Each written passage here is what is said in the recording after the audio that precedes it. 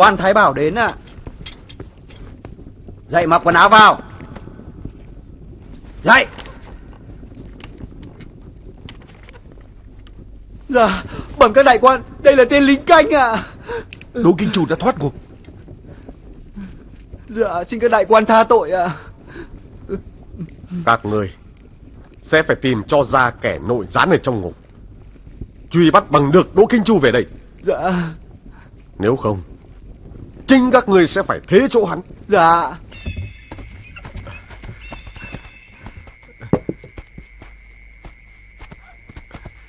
Đà tạ. Để con đỡ ông dậy. Không không. Các người là quân chống triều đình, tôi không lấy đâu. Ông không sợ tội thông đồng với quân phản nghịch à? Đừng lo cho tôi. Tôi có phạm tội chống triều đình, cũng chẳng bị xử trảm. Làm nghề này đáng sợ hơn cái chết.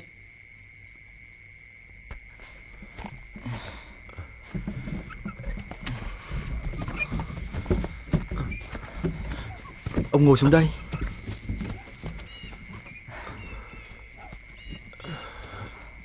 Đội ơn ân nhân cứu mạng.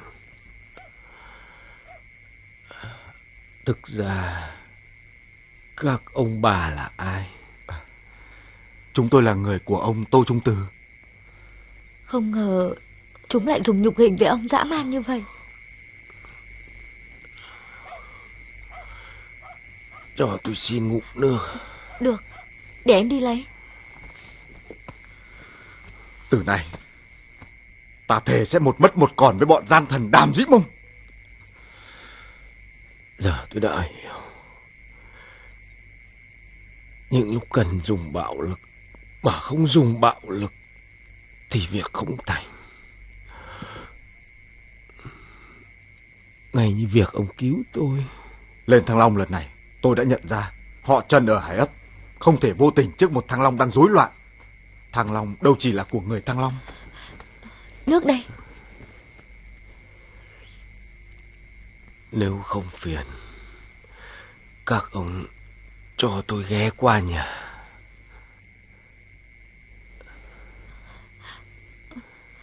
Anh, Được. Chúng tôi sẽ giúp ông thỏa nguyện.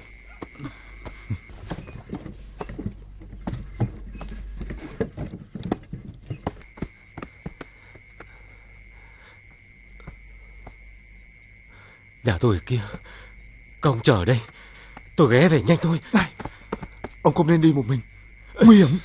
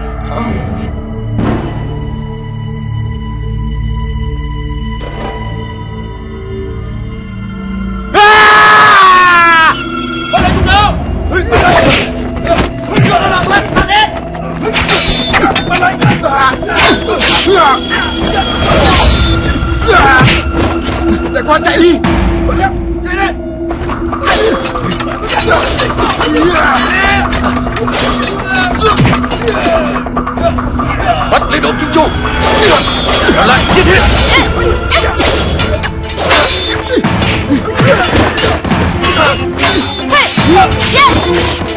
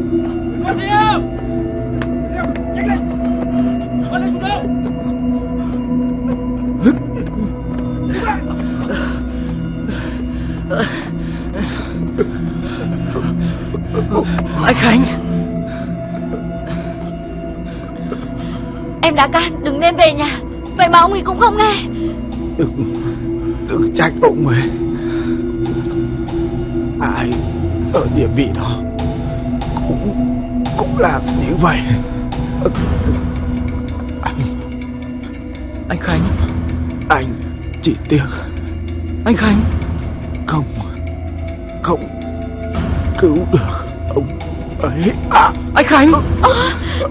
Anh Khánh. Anh ơi Anh Anh ơi anh thấy trong người thế nào rồi? Anh đừng. cho anh không sao đâu. Anh anh nói với tôi. Được. Anh tại cho anh. Anh ơi. Anh Khánh. Anh Khánh. Anh Khánh. Anh Khánh ơi Anh ơi! Anh ơi! Anh tỉnh lại đi anh ơi! Chú có chắc là ở đây có thầy lang giỏi không?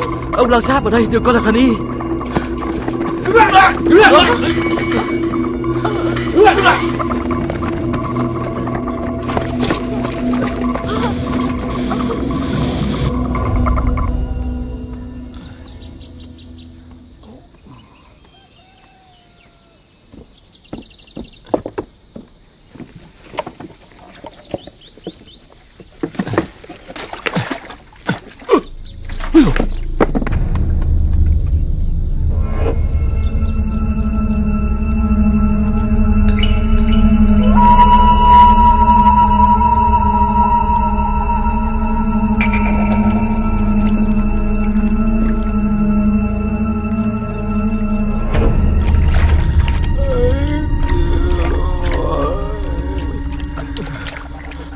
nhanh lên! Đi. Nhanh lên. Nhanh lên. Đi. Dừng lại. Có chuyện gì? Thưa đại vương Bọn người này dám chống lại quân triều đình. Trời Tự Khánh. Ờ, Anh Khánh. Anh Anh ơi. Anh Khánh Cởi trói. Khẩn cầu đại vương hãy cứu anh tôi. Ờ, Anh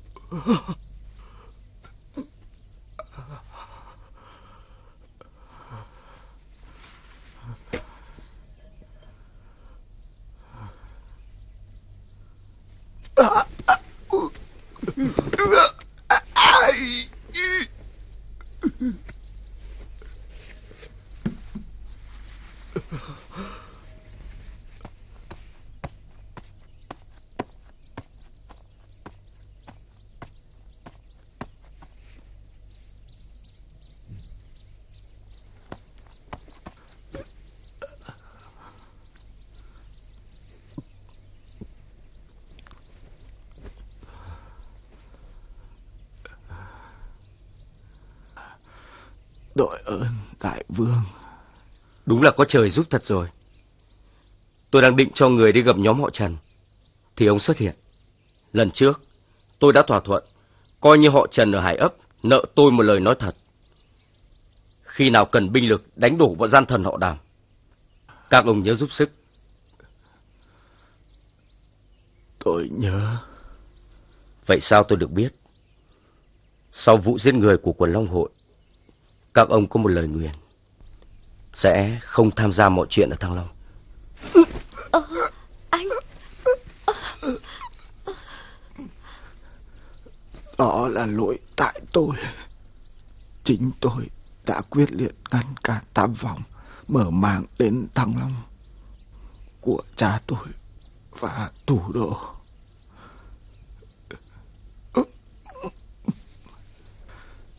Nhưng chuyện đi lần này đã khiến tôi thay đổi.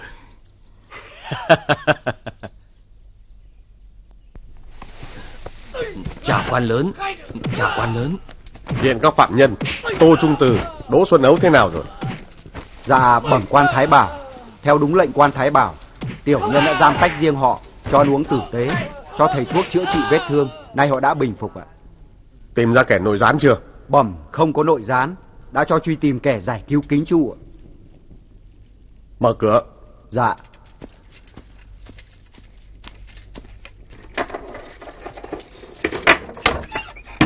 Dạ mời đại quan ạ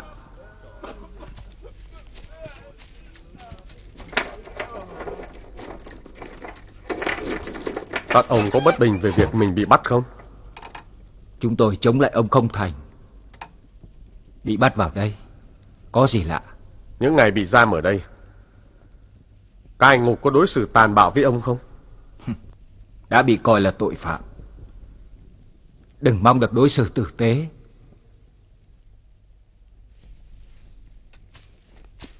Chúng tôi đã chấp nhận cả cái chết. Dám xả thân vì chính nghĩa. Thì chịu nhục hình cũng là chuyện thường. Nếu bọn cai ngục có xúc phạm các ông, tôi thành thật xin thứ lỗi. Những ngày qua, triều đình quá ư nhiều chuyện, căng thẳng, rối loạn, đôi khi dẫn đến sự quá tay của người thừa hành. Tôi thành thật nhận lỗi. Vì quá nóng vội và nông cạn, nên đã bắt người sai luật. Mừng các đại nhân được minh oan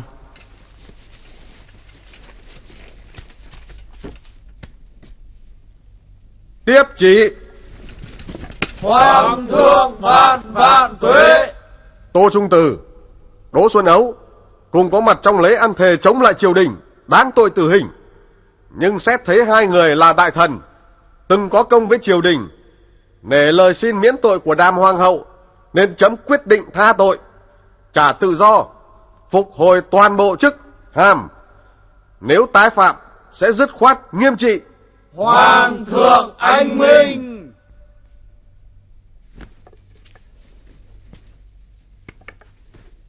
Đội ơn Hoàng thượng Mời các đại quan Bẩm hai đại quan, chúng tôi được lệnh đưa hai đại quan về tận nhà.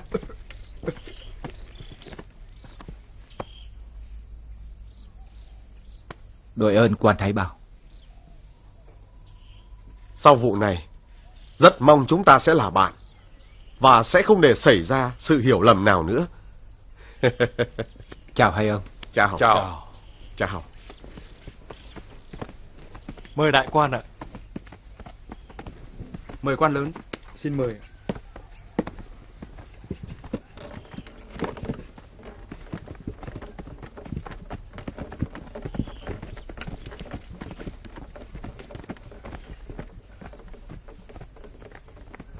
Nhận được lời mời tụ nghĩa của đại vương, tôi rất phấn khích.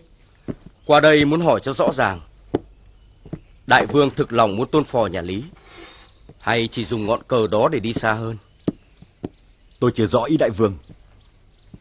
Bản doanh của tôi ở tà ngạn sông Cái, muốn diệt gian thần họ đàm lúc nào cũng được. Chỉ vì tôn phò nhà Lý, e ném chuột vỡ bình quý, nên chưa đem quân sang sông vào Thăng Long. Điều này tôi biết.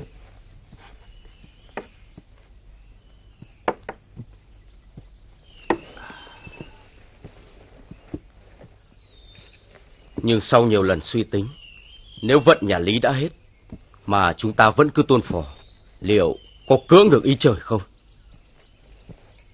Chuyện Tây Trời này, quả thật là tôi chưa nghĩ tới. Chính vì thế tôi qua đây, muốn bàn với ông. Sau khi Phạm Bình Di từ châu đằng châu khoái trở về, chúng ta sẽ liên kết với ông ta. Lật đổ triều Lý, xây dựng một triều đại mới cho Đại Việt. Điều đại vương vừa nói, quá bất ngờ. ông sợ Nếu như các cánh quân chống đối liên kết lại với nhau, chắc chắn quân triều đình sẽ thua. Nhưng cái chính là tôi chưa bao giờ nghĩ mình thay đổi lòng trung quân.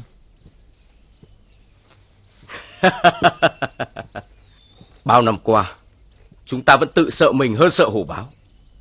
Chính vì thế bọn gian thần tha hồ mà lộng hành. Bây giờ nếu đại vương còn sợ, Nguyễn Nội xin cáo từ. Coi như chúng ta gặp nhau để uống chén rượu nhạt, không bàn thêm điều gì. Không không.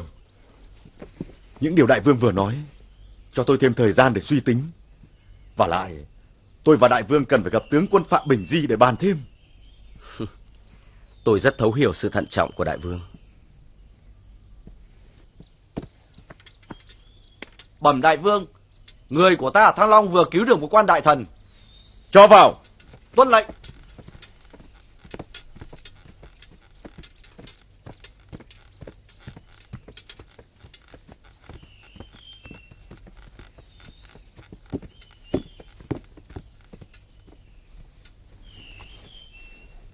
Trời ơi. Đại nhân Đỗ Kinh Chu. Đại nhân đã vượt ngục à? à...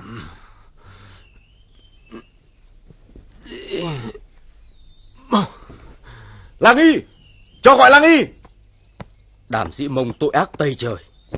Miệng của hắn thì kêu gọi triều đình hòa hợp, nhưng tay hắn thì tàn sát tất cả các đại thần chống đối. Bẩm đại vương, đòn tra tấn quá hiểm, nên khả năng sống sót là rất ít. Đưa đại nhân đi dưỡng thương ngay. Dạ vâng. Đi. Họ đàm, dựa vào thế vua để tàn sát chúng thần. Chúng ta cũng phải dựa vào thế vua để chống lại chúng. Có lẽ sẽ phải đạo và hợp ý trời.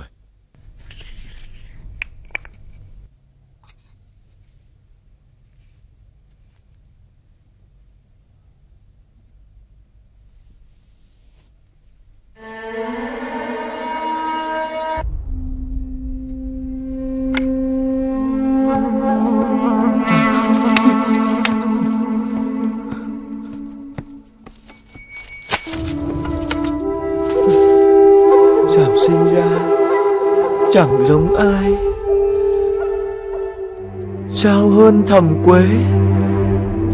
Ngồi ngai bệ rồng Chẳng đâu có thích bệ rồng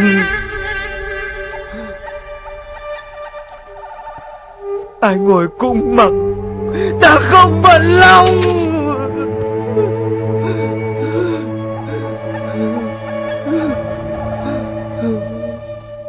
Bẩm Thái tử Điện Hạ, Đã đến giờ ăn và cho Thái y bắt mạch rồi ạ. Có bệnh gì mà bắt mạch? Ta đang bận làm thơ mà. Để ta đọc thơ cho nhà ngươi nghe nhá Dạ. Sảm đâu có thích bệ rồng. Ai ngồi cũng mặc. Ta không bận lòng. Thơ Thái tử hay quá. Thái tử điện hạ phải ăn thì mới có sức làm thơ. Ờ, điều đó đúng đấy. Có thực mới vực được thơ. Ừ. Ta không ăn thuốc độc đâu. Ta sợ thuốc độc lắm.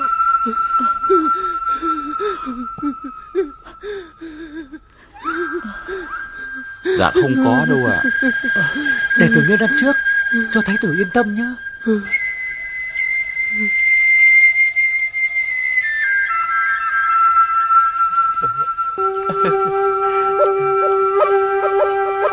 Chưa? Không sao rồi nhá. Ta sợ bị đầu độc lắm. Xin thái tử điện hạ cho hạ thần bắt mạch trước đã rồi hãy ăn.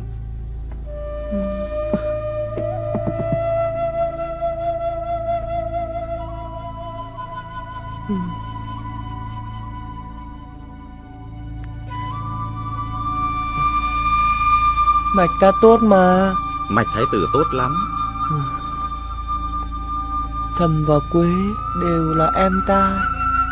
Ta so hơn thiệt để làm gì? Thái y thấy ta nói có đúng không? Thái tử nói đúng lắm. Ừ. Hoàng hậu thiên tuế, quốc trượng mạnh khỏe. Bệnh tình của thái tử thế nào?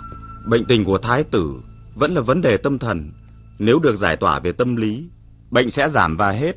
Nhưng nếu để uống thuốc dài ngày sẽ gây chứng u mê, sức khỏe suy kiệt. Còn đến khi nhờn thuốc thì hậu quả sẽ khôn lường. Thái tử còn nói làm nhảm nữa không? Bẩm hoàng hậu, loại thuốc hiện nay hướng cho thái tử thiên về hướng làm thơ. Thái tử không còn làm nhảm nữa. Tội nghiệp cháu ta.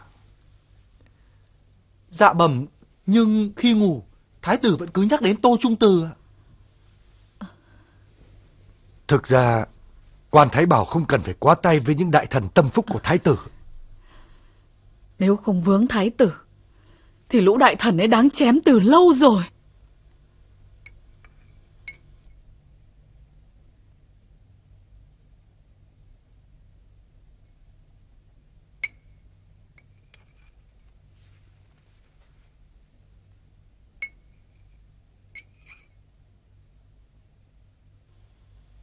Thái tử cố ăn đi.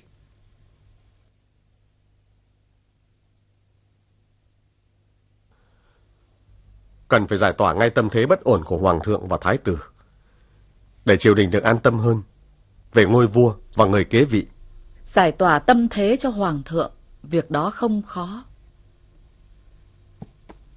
Sau tang lễ trang trọng của Lê Quý Phi, Hoàng thượng đã tin rằng cái chết của Lê Quý Phi là sự quyên sinh cao cả, nên Hoàng thượng cũng bớt buồn hơn nhiều. Một khi cả triều đình đều hướng lòng trung quân của mình về với Hoàng thượng, thì ý đồ khởi loạn của đoàn thượng và Nguyễn Nộn sẽ không còn nữa. Và như vậy, chúng ta chỉ cần đối phó với một mình Phạm Bình Di là sẽ không còn nguy hiểm nào lớn đe dọa triều đình nữa. Nhưng còn bệnh tình của Thái tử ạ?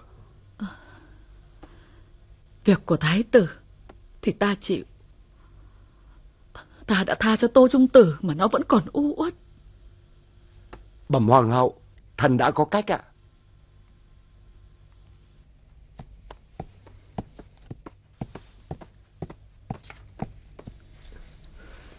Chảm không phải gốc hoàng gia. Ôi, Sinh ra ôi, chim khách, chim là báo tang. Thầm là đích thị phượng hoàng. Thái bình thịnh trị, yên hàn muôn năm. Ngày mai, muốn phế bỏ thầm, đồng dao lại hát, thầm không phượng hoàng. Làm sao mà thái tử lại biết bài đồng dao này vậy? Dạ, bẩm hoàng hậu. Đoạn sau là do thái tử nghĩ ra. Còn đoạn đầu, dạ bẩm, tiểu nhân cũng không hiểu tại sao thái tử lại biết ạ. Người vào đi. Dạ. Các người thấy ta vẽ có giống không? Dạ, giống ạ. Dạ. Ôi. Thái tử điện hạ vẽ ai mà đẹp Ừ. thế ạ? Người không biết ta vẽ ai ư? Đây là Tô Trung Từ, người đang bị nhốt trong ngục, chờ ngày hành quyết. Dạ, đại thần Tô Trung Từ đã được minh oan, được thả ra từ lâu rồi. Điện hạ không biết sao? Thật không? Dạ.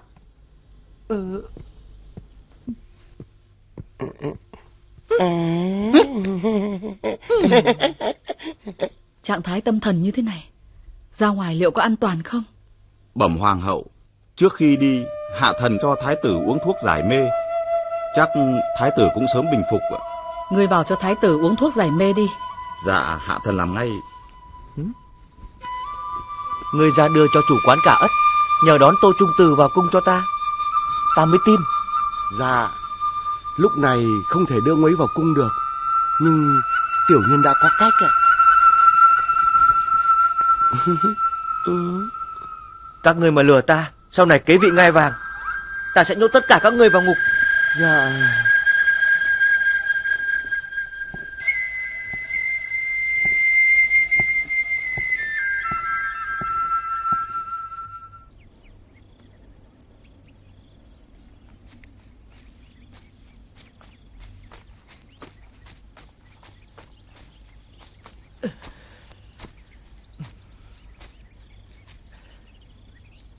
Em nghe các cụ trong ấp nói, họ Trần nhà mình là dân đánh cá, muốn phát, phải phát xuôi ra cửa sông, cửa biển, chứ làm gì có chuyện phát ngược lên Thăng Long. Nghề thì đúng như thế, nhưng nghiệp không phải vậy. Quầng sán lan tỏa trên ấp, rõ ràng là hút về phía Thăng Long. Đó chính là lời đáp của trời đất.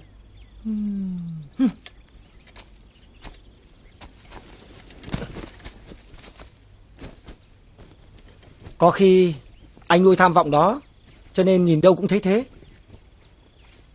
Tôi cho đầu chú rơi xuống đất bây giờ.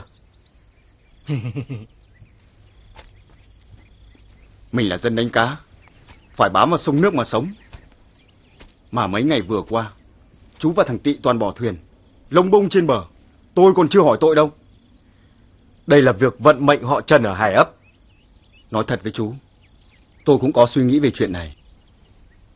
Nhưng do lời của cụ và ông nội nói nước đôi, nên ai muốn hiểu gì cũng được. Tôi lại suy nghĩ khác anh. Tuy các cụ vô cùng sáng suốt, nhưng không qua được ý trời. Tôi không thích sống ở Thăng Long. Càng không thích bỏ nghề đánh cá truyền thống của cha ông. Nhưng nếu đây là mệnh trời, thì tôi đành phải theo vậy.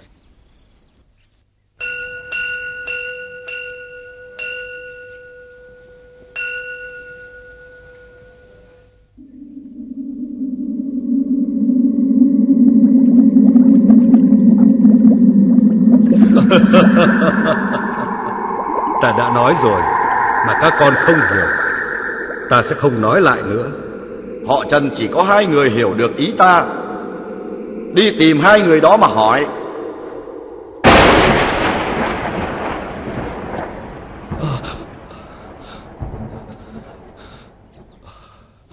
Ôi, ông ơi, ông làm sao thế này? Ông ơi, ông, Ờ, nước, nước, đưa đây. Ờ, Cha, Nào, cha làm sao vậy? ôi, này, Ông nội và cha hiện về Nói là trong nhà chỉ có hai người hiểu ý các cụ Cha nghĩ Người thứ nhất là thục độ Còn người thứ hai là ai? Là ai à? Hay là Dung? Đó là con gái kể làm gì nhưng nó cũng họ Trần. Cha, con thấy thủ đô nói đúng đấy. Nhà này chỉ có mình cháu là hiểu ý các cụ Chứ không phải ai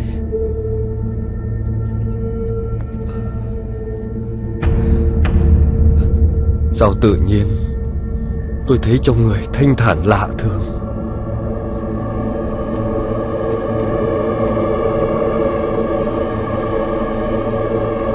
Thưa ông và cha. Con đã hiểu được ý ông và cha. Nghiệp lớn, Phải biết tự quyết định mới là biết. Không biết tự quyết định là không biết. Bây giờ thì con đã biết rồi.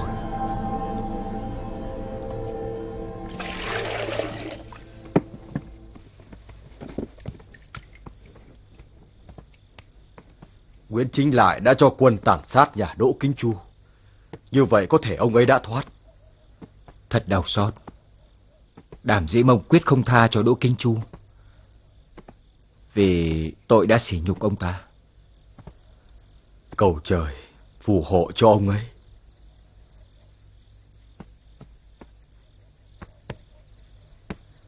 Tình cảnh này, nếu ở trong chiều chúng ta như cá nằm trên thớt. Hay ta rời Thăng Long, tìm một thế lực nào đó thật chính nghĩa, để tiếp tục phò nhà Lý. À, họ Trần ở Hải ấp thì sao? Tôi hối hận vì đã có lúc hiểu lầm Trần Lý, Trần Thủ Độ. Từ sau khi bị tai tiếng oan, vì tội giết hại người của quần Long Hội, anh rể tôi và các cháu đã quyết không tham dự đến những việc diễn ra ngoài hải ấp nữa. Hay chúng ta sang Châu Hồng theo đoàn thượng? Ừ. Ý của tôi vẫn là chúng ta kiên nhẫn ở lại Thăng Long, chờ thời cơ vậy. Ông nói đúng. Phạm Bình Si vừa đánh thắng Phạm Du xong. Thế nào cũng có biến động một lần nữa. Chúng ta cứ chờ đợi một thời gian xem sao. Được. Người quen không đập cổng kiểu này. Ông tạm lánh vào trong, đề phòng tình huống xấu. Ông sẽ thoát ra bằng đường ngầm. Vâng. Người đâu? Dạ. Đưa ông gấu ra vườn. Dạ vâng, mời ông. Mời ông. Ông ơi, liệu có chuyện gì xấu không ông? Bà cứ bình tâm.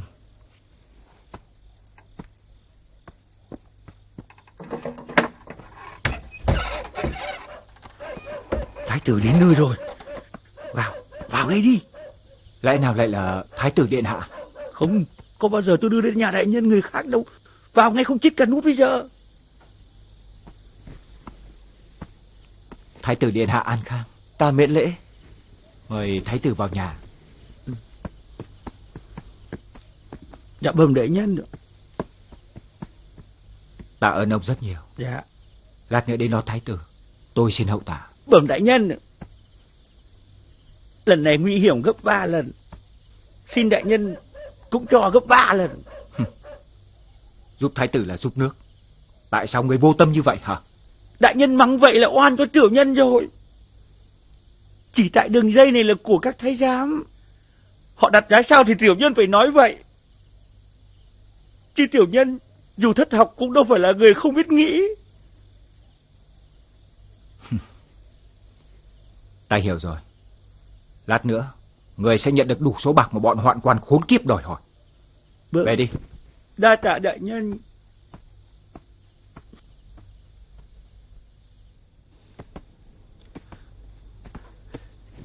Ta nhớ người quá. Chúc Thái tử an khang. Miễn lễ. Ta tưởng sẽ không còn gặp được các ngươi nữa. À, chúng thần đội ơn Thái tử. Chính nhờ uy của Thái tử mà gian thần đàm dĩ mông mới không dám thẳng tay với chúng thần. Ta cũng chỉ là quân bài trong tay của họ.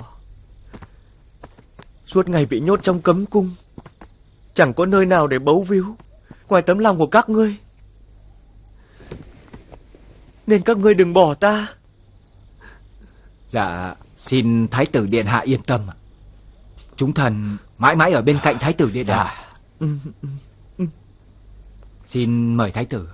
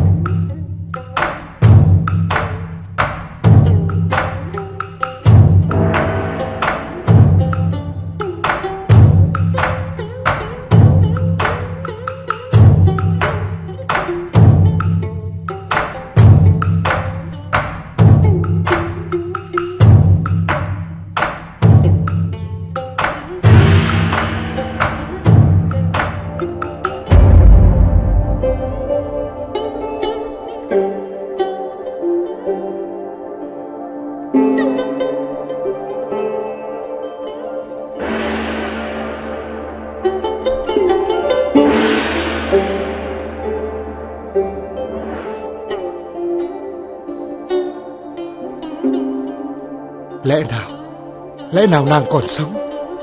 Bẩm hoàng thượng. Thiếp đã cho người đi khắp Đại Việt Mà không làm sao tìm được ra người nào giống với Lê Quý Phi Để cho hoàng thượng khuây khỏa. Thiếp phải sang tận Đại Tống Mới tìm ra được mỹ nữ này đấy.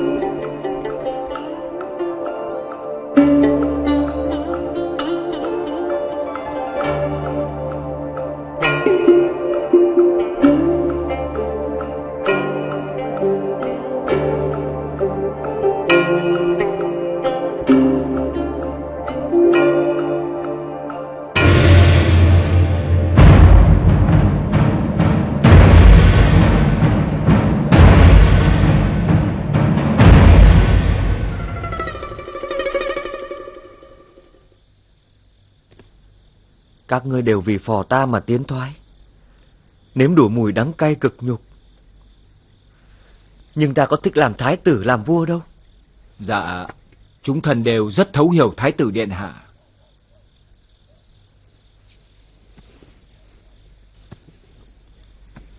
Các ngươi làm đại thần trong một triều đình hỗn độn như hiện nay, thì cũng chẳng sung sướng gì.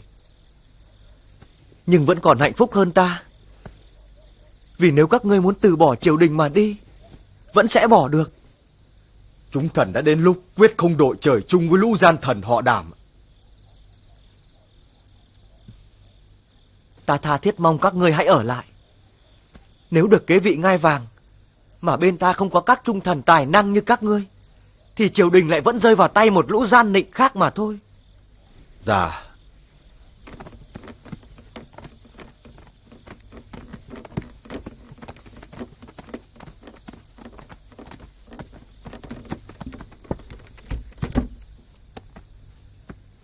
Bẩm ông, có kiệu đến đón thái tử ạ. Ờ.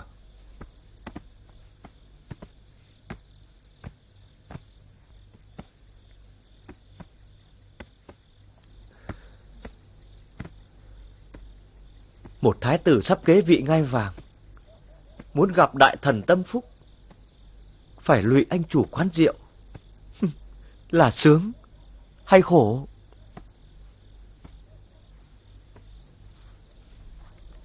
Dạ, chúng thần rất cảm thông.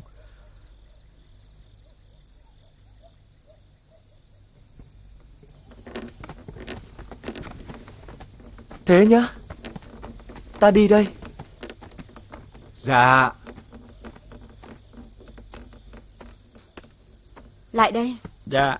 Đây, gấp 5 lần cơ đấy. Ui, xin cảm tạ phu nhân. Nhưng kẻ hèn này chỉ lấy đúng số bạc mà các thái giám trong triều đòi hỏi. ấy Kẻ hèn này không dám lấy công. Dù thất học, nhưng tiểu nhân vẫn biết rằng giúp thái tử là yêu nước. Mà yêu nước thì tất sẽ có lộc. Xin chào các đại nhân. Xin đa tạ phu nhân.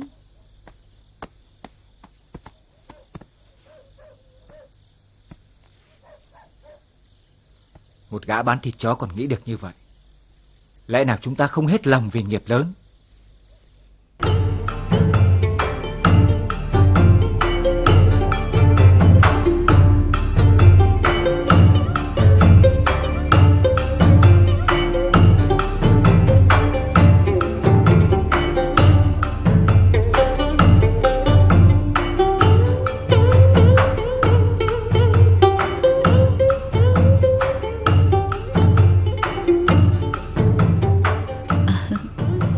Thiếp chúc mừng Hoàng thượng đã trở lại với những ngày tháng vui vẻ bên yến tiệc, quên tất cả những nỗi ưu phiền. Ta phải cảm tạ hậu về việc này.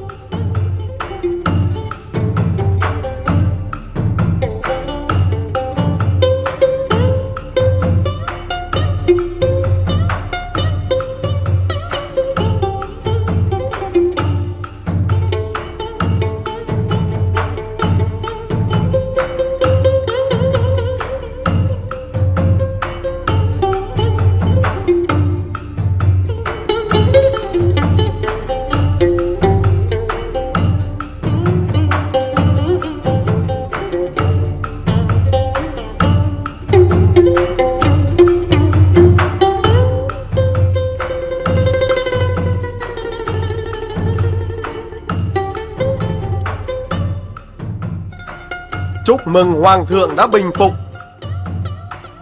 Hoàng thượng vạn vạn tuế. Các ngươi phải tạ ơn Hoàng hậu về việc ấy mới đúng. Hoàng hậu thiên thiên tuế.